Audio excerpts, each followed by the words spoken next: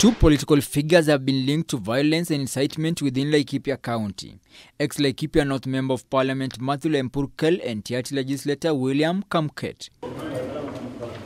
They were arrested and detained in separate locations.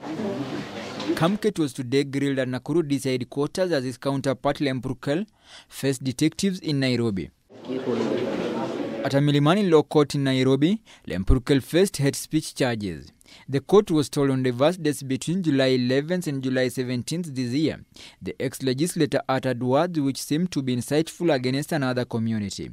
He denied the charges and he was released on a cash bail of 150,000. Interior CS Dr. Fred Matiang'i has however insisted the mess and the violence being witnessed in Laikipia is a political strategy by certain individuals. What has happened in Laikipia, it's always, it's almost like seasonal. You know, every time we approach an election, this thing, uh, you know, flares up. Matiang'i has hinted that a security reshuffle is the next thing in the region. We have had to do necessary changes in that county in terms of managing our security. And we are going to do even more changes that I will announce tomorrow in terms of reconfiguring our deployment and, and uh, you know, working in that area. Is expected to tour the area tomorrow even as the government prepares to put more measures and flush out bandits. Franklin Wala, K24 TV.